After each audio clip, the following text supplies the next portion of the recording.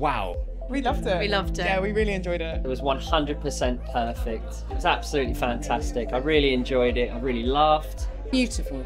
Really, really beautiful. It was really special, really moving, very brave to say those things, to put them in performance. Brave, brave thing to do, but really, really worthwhile.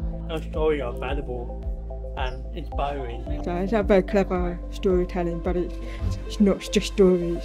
For life, you know, it's true. Talking about family, being left out in the deaf, the communication with hearing people, how you're naturally left out, not allowed to sign. It's the same for me when I was growing up.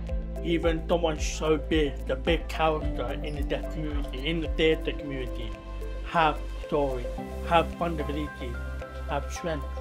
And it's just like, it's really refreshing to see, ah, okay, I can be the same. It was just really beautiful and gentle and really like thought provoking in that it wasn't too in your face, it was really subtle. It was brilliant. Really, really interesting, uh, shocking.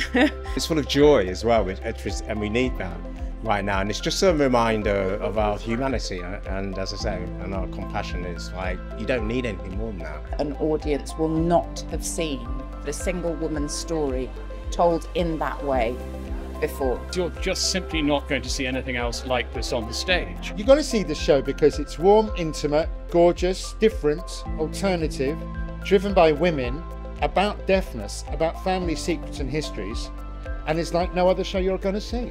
Self Raising, touring nationally from 6th of February to the 23rd of March 2024.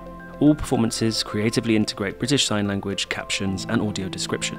A Graeae production, in association with Soho Theatre and Theatre Yolo, developed with the incubator at the Egg, Theatre Royal Bath.